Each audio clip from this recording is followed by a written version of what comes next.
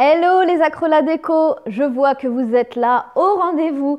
Eh bien en fait, toutes les choses que je vous ai montrées, vous pouvez les offrir. Vous pouvez offrir par exemple des jolies plantes d'intérieur qui vont être résistantes.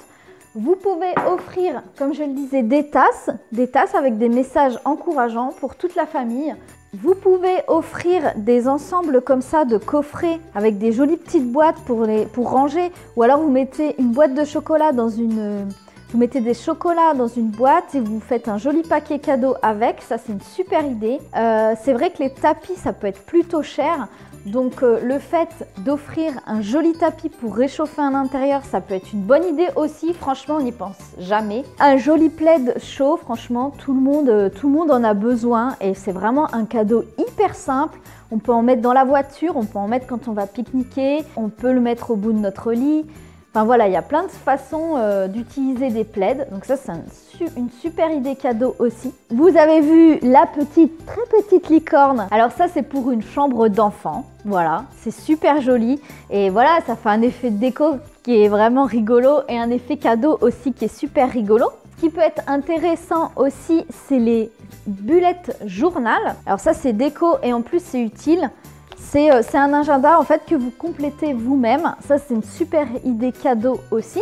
Vous pouvez offrir des petites verrières comme ça pour justement euh, créer de la décoration.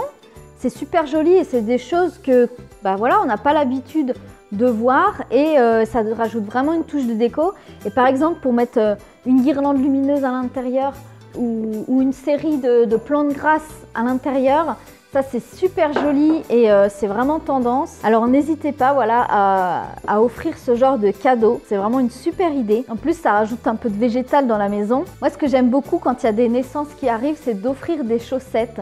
Alors j'offre des chaussettes au bébé évidemment, bébé, mais aussi à la maman et au papa. Je trouve ça très drôle.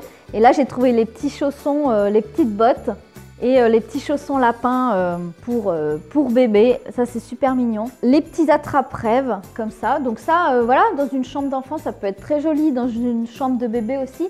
Mais il y en a aussi énormément, ce qu'on appelle les bijoux d'intérieur à accrocher. Pour accrocher voilà, dans sa maison, c'est très joli et ça, ça peut faire vraiment un très très joli cadeau. quoi. Pour les chambres des enfants aussi, tout ce qui est petit cadre, mais même les chambres des adultes. Hein les, petits lots de cadres comme ça. Et euh, j'ai trouvé chez Action en fait les petits. C'est un lot de, cartes, de cartes avec, euh, avec plein d'affiches. Donc ça, même à accrocher avec du meskin tape, c'est super joli. Voilà, petits effets déco vraiment sympa. Je vous parlais des, je vous parlais des tasses, bah justement, Prenez des jolis coffrets avec des belles tasses. Moi, je trouve que les tasses, elles nous accompagnent au quotidien. Donc ça, c'est vraiment une bonne idée. Et pour la blague, j'ai trouvé chez Nose, j'ai trouvé un magnifique, il est très très lourd, il est tout en béton, un très beau nain de jardin qui fait fête de fin d'année. Mais en même temps, vous pouvez le mettre dans votre jardin. Euh, bah, il sera super beau quoi, toute l'année. Voilà, c'est vraiment un nain qui est hyper simple. C'est très très joli.